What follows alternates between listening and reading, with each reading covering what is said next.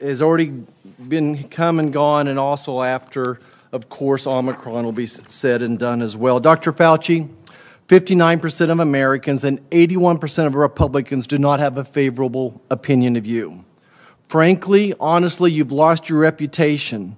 The American people don't trust the words coming out of your mouth. Every day you appear on TV, you do more damage than good when it comes to educating the public on COVID. Suppose you were leading a team in an effort to try to get people to stop smoking cigarettes. But every time your spokesperson goes on television, over half the nation goes out and buys a pack of Marlboros. Wouldn't you stop that person from appearing on national television? Once again, Senator Marshall, I believe that's a real distortion of the reality. If you look at everything that I've said on TV, it is to validate, encourage, and get people to abide by the recommendations of the Centers for Disease Control and Prevention. Look at everything I've ever said. Yeah, Dr. Fauci, I Get understand that, but, but perception is tested. reality. Yeah. And you're hurting the team right uh, now. yeah. You are hurting the team right now. Dr. Fauci, you previously told this committee under oath that NIH and NIAID have never funded gain of function research with the EcoHealth Alliance. However, a report from the Department of Defense Inspector General released yesterday states that EcoHealth Alliance proposed DARPA in 2018 seeking funding to conduct gain of fun- function research on bat-borne coronaviruses. This proposal, named Project Defuse, D-E-F-U-S-E, was rejected by DARPA because the project didn't address the current research's potential to violate the gain of function moratorium. The proposal does not mention or assess potential risk of gain of function research. That's a direct quote from the DARPA rejection letter. The same proposal rejected by DARPA for gain of function potential was not rejected but by NIAID under your leadership. You funded Project Defuse and its research that took place at the Wuhan Institute of Virology. Why did you tell the committee that your agency has never funded gain of function research? Why did your agency award this grant despite it being rejected by DARPA due to its concerns about violating the moratorium that was in place? And finally, Will you commit today to release all records fully unredacted by the end of this week so Congress and the American people can know the truth about NIH's role and the origins of COVID 19?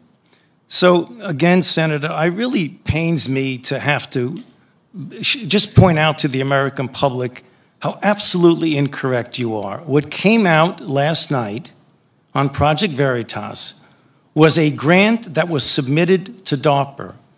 Then it distorted and said, we funded the grant. We have never seen that grant, and we have never funded that grant. So once again, you are completely and unequivocally incorrect. When you joined the DARPA proposal was a grant that we never saw and we did not fund. So you are incorrect. Our social media will have all the supporting documents, and we'll Yeah, be supporting but, these Senator, the record as well. You are you. you're backing down on this? Why don't we go and look at the Veritas statement? They were talking about a grant that was submitted to DARPA. Are you saying this was not, are you saying that this was viral gain of function research? I'm telling you that you're saying. Are that you saying that funded the this was DARPA not viral gain of function research? by the definition that you are very well aware? which Your P3CO together- definition is You know, just a you- legalese to get away that Senator allow Marcus, you to do the viral gain I'm of talking function about, studies. Senator. Senator Marshall, if you'll please allow the witness to respond. Senator, we know, and the misinformation, that the guide rails for what can be done or not were not established by me.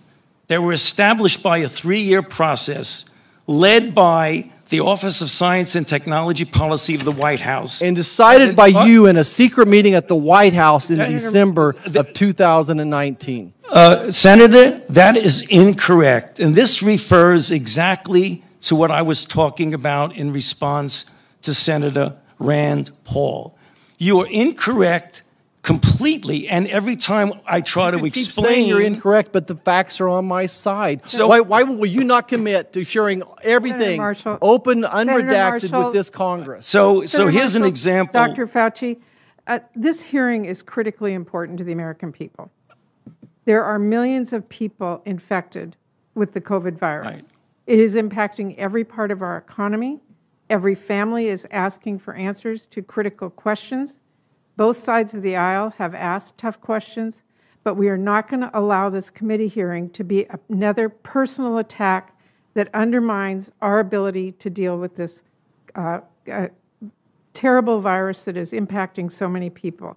I will then turn to Senator Smith. Thank you. Thank you, Senator. Have you noticed that as everything around you seems to decline, one thing still grows? It is the power of your rulers. None of their plans and directives have solved your problems or made your life better. The only result has been their increased control over you at the cost of your freedom. Do you know why? You gave them the power.